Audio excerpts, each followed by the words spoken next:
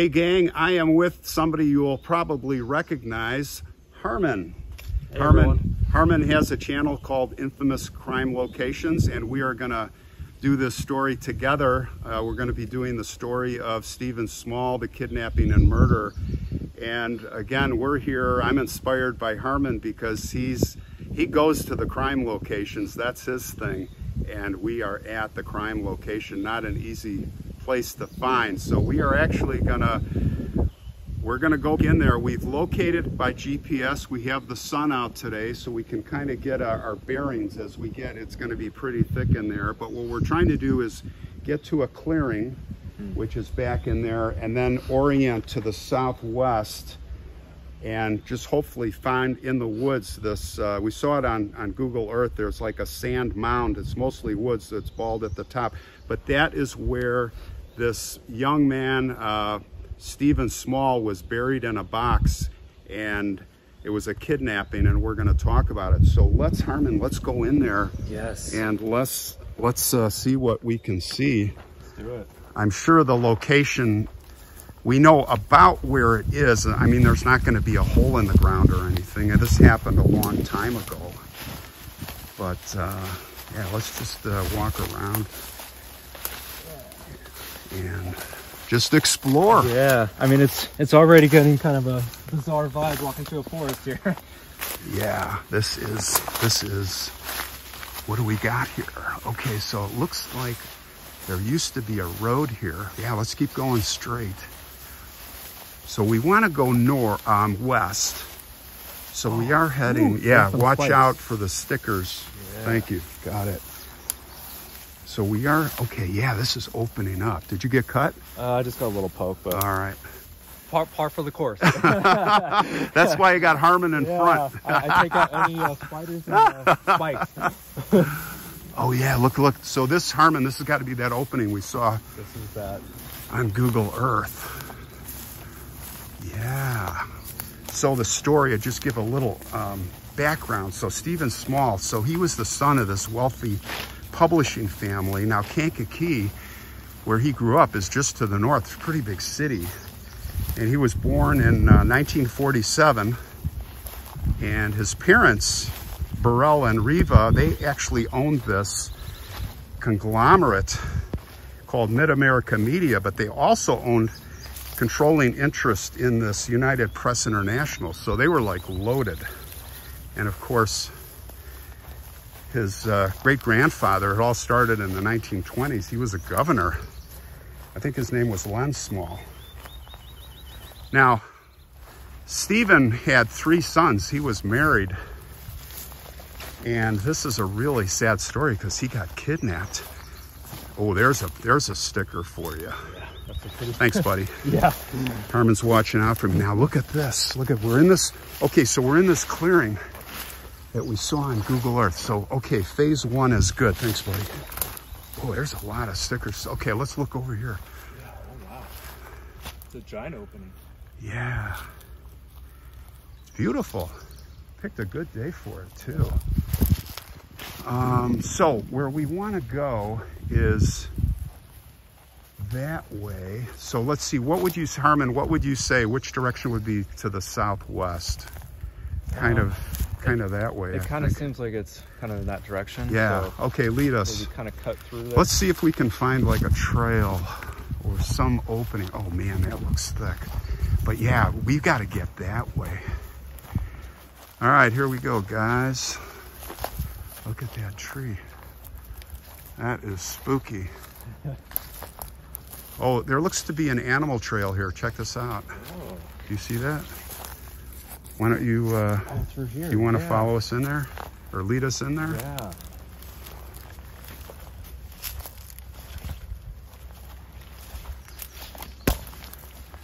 So yeah, what happened was, well, let's get in the woods here. Oh, I see some artifacts. Oh yeah, there's some stuff Looks like here. somebody's been doing some shooting back here. Go ahead. Yeah, I'm good.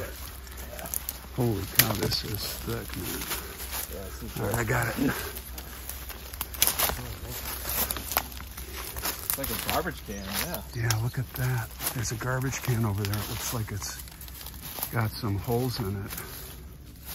Is that a Is that made out of wood over here? I don't know.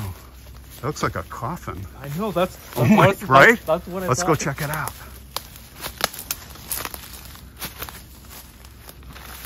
Oh, Oh, it looks like a. might be part of a tree, but it Oh my gosh, that looked like a coffin. but it looked like a coffin. From far away, it does look like a coffin. Oh my gosh. Okay. All right, let's head. Kind of back. Yeah, I think that's a good line.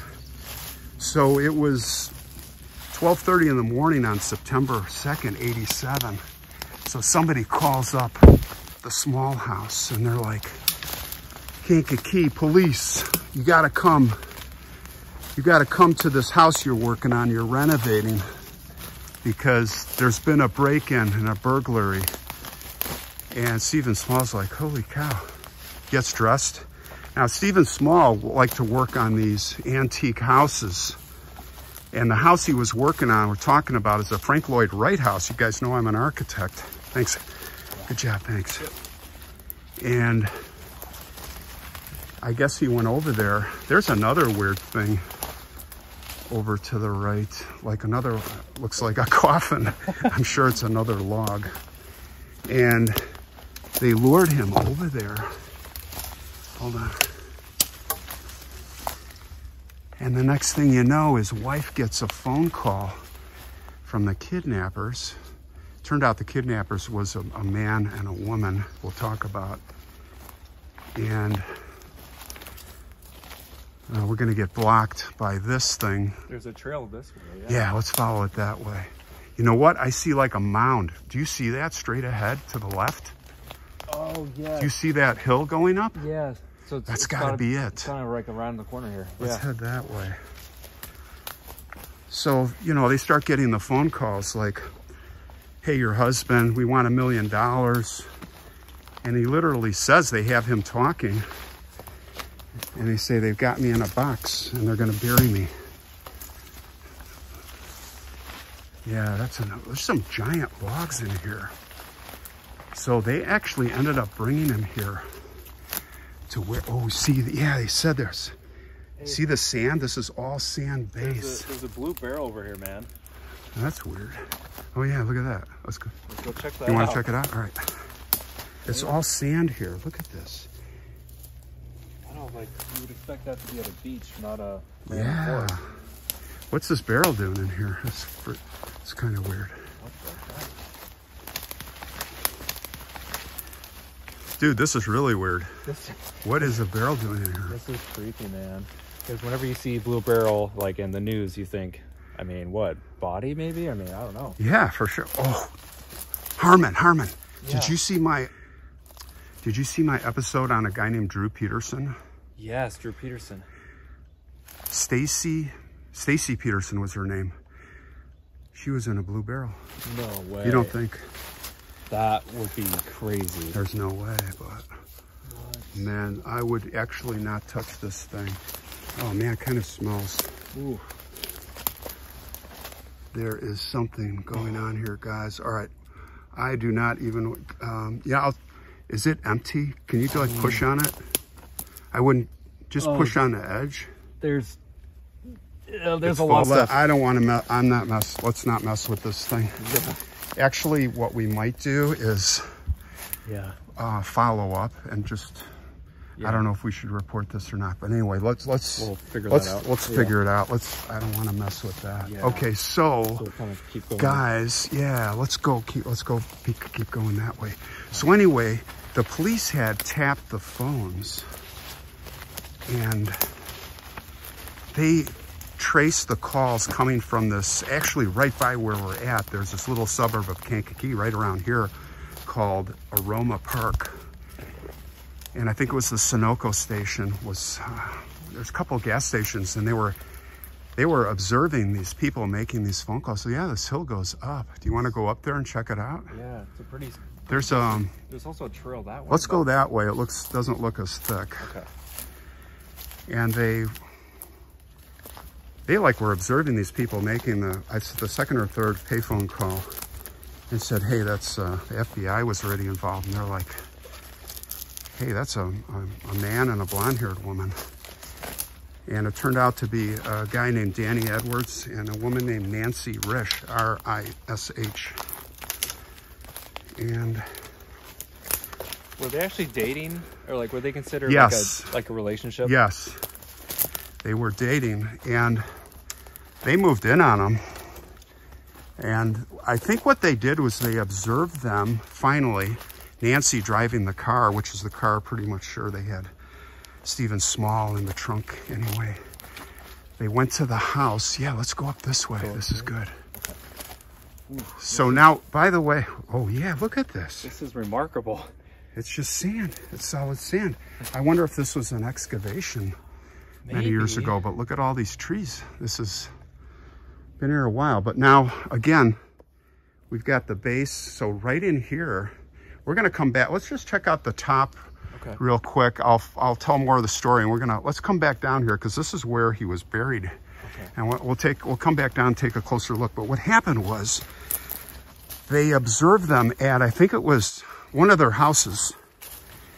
And they finally moved in and they're like, they, they moved in with a search warrant and the search warrant basically showed evidence. They arrested him and the next thing you know, this Danny Edwards, they both, yeah, we did it, it's us. And it's like, get us to Stephen Small. So what does he do? The guy brings them out here. Yeah, this, uh, this looks like a dead end. What do you think? Doesn't look like there's much up here. I mean, just a bunch of vegetation and Okay. stuff, but Well, let's go back. Why don't you lead us? Let's go to the base where this happened. So, this Danny Edwards comes out here with the police, right here where we're at. And he brings them to the base of this hill. And by the way, this was really hard to find.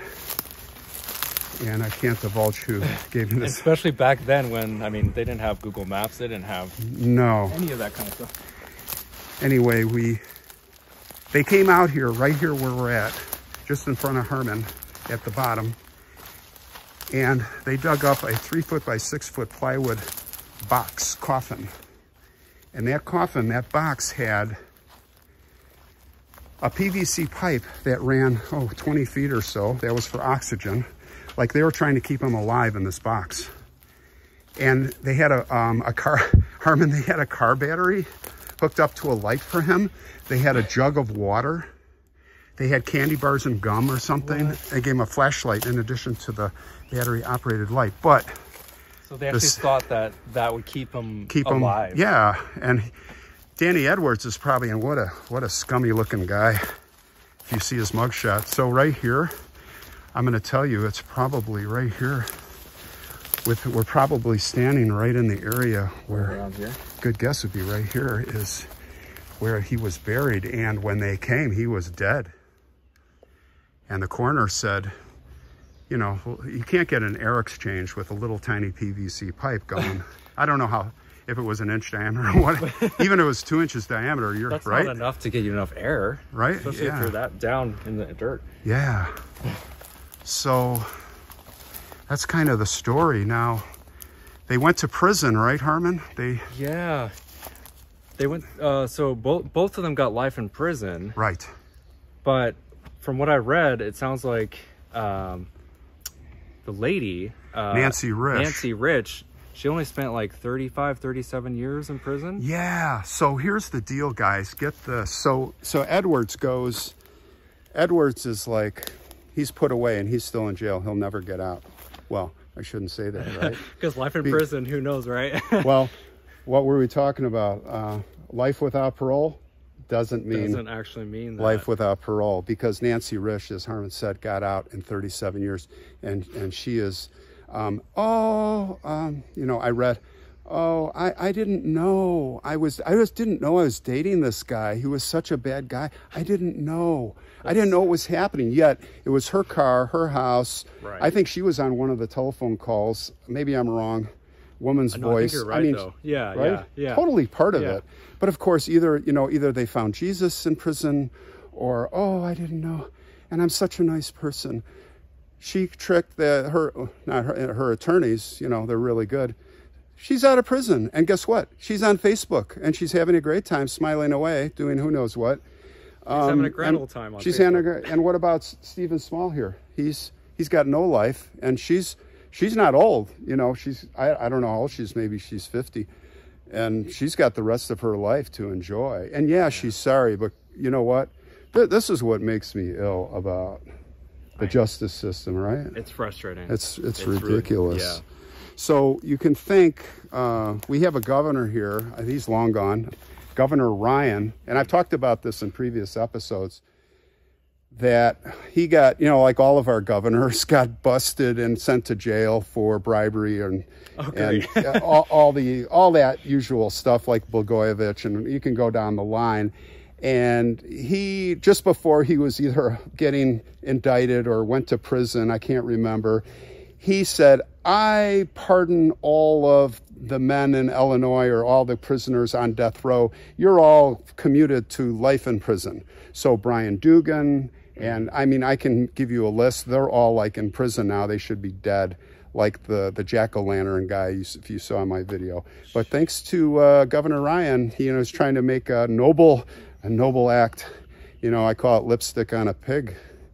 He is, right? So anyway. that's, that's so I don't know about you, man, but I'm getting a really bad feeling in here. I do not. It's, I mean, it's just. Uh, it's bad it's vibes. the whole story is creepy in itself, and then you come into this spot in the woods in the middle of nowhere. It just makes it double, doubly. Yeah. Just weird vibes. So. Yeah, I think. Um, Probably shouldn't stay out here too long. Yeah, I think let's boogie out of here. I'm, I'm, I'm happy to be out of here, and. Um, the blue barrel, I, I don't know. I don't know about the blue barrel. It's probably not her, but yeah. I don't know. We're we're gonna boogie out of here. Um, I've got to. Harmin's got to get to his next city. I'm gonna hit the cemetery for you real quick, and we'll pay respects to Stephen Small. So we'll uh, we'll call it here, man. Yeah. Sounds Safe good. driving, Thank and you, see y'all later. Yep. I'll see you at the cemetery. I'm at Mound Grove Cemetery in Kankakee. So we're just going to visit Small's crypt as it is. Just us. But thanks Herman. to go to the uh, location of where he lost his life. And, oh, everything's right here.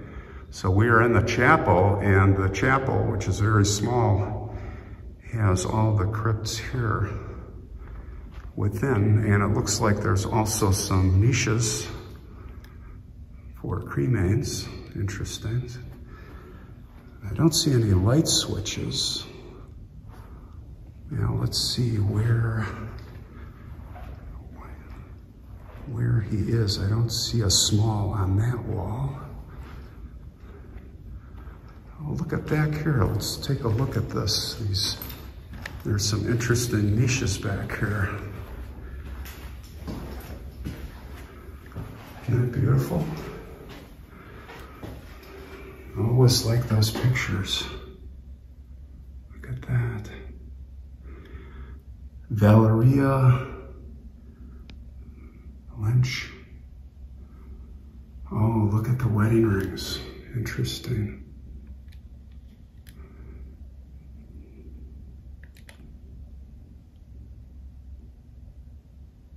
Dog tags. Wow. Dog tags got to be World War II, huh? Yeah, 1928, Matthew Lynch.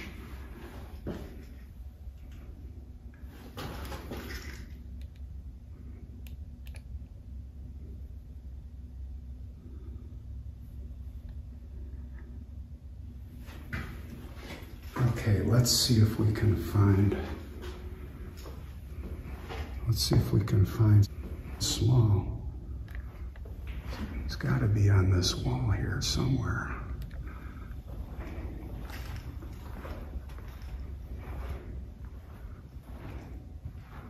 Ah, I see it right over here.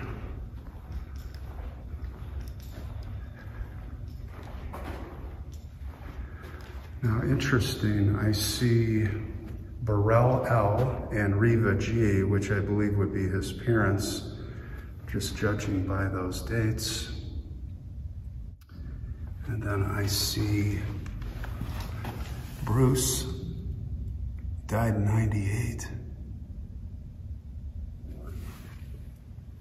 I wonder if he's in here unmarked because I don't see small anywhere. Let me just double check here. As we look. No. Oh, wait, wait, wait. I missed it. He's up here. He's up here by himself. Okay. Yeah, he's here. So these are double crypts and he's by himself. Yeah, 1947 to 1987. Okay, well, quite a sad story. Hope you are resting in peace in a small family. Rest in peace.